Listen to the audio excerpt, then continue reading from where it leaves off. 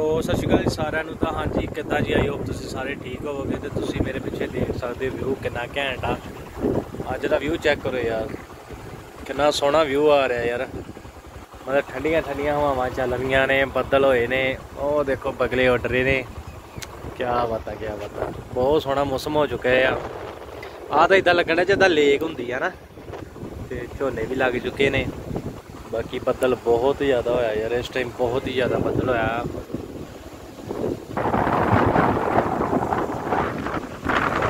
ਹਵਾ ਵੀ ਯਾਰ ਬਹੁਤ ਫਾਸਟ ਚੱਲਦੀ ਪਈ ਆ। ਬਾਕੀ ਤੁਸੀਂ ਵਿਊ ਚੈੱਕ ਕਰੋ ਯਾਰ।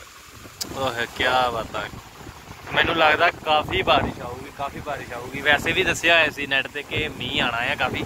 ਹੁਣ ਦੇਖੋ ਆਂਦਾ ਜਾਂ ਨਹੀਂ ਆਂਦਾ ਬਾਕੀ ਹਵਾ ਚੱਲ ਰਹੀ ਹੈ ਠੰਡੀ ਠੰਡੀ ਇਸ ਟਾਈਮ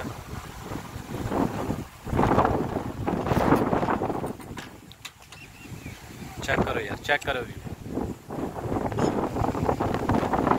ਤੇ ਹਾਂਜੀ, ਬਾਕੀ ਚਲੋ ਜੀ, ਠੀਕ ਆ ਜੀ। ਤੇ ਫਿਰ ਇਹ ਵੀਡੀਓ ਉਦਾਂ ਹੀ ਮੈਂ ਵੈਸੇ ਹੀ ਬਣਾਈ ਸੀ। ਤੇ ਬਾਕੀ ਕਰਦੇ ਆ ਫਿਨਿਸ਼ ਇਸ ਵੀਡੀਓ ਨੂੰ ਜਲਦੀ ਜਲਦੀ ਤੇ ਮਿਲਦੇ ਆ ਫਿਰ ਤੁਹਾਨੂੰ ਨੈਕਸਟ ਵੀਡੀਓ 'ਚ। ਓਕੇ ਆ ਜੀ ਬਾਏ ਬਾਏ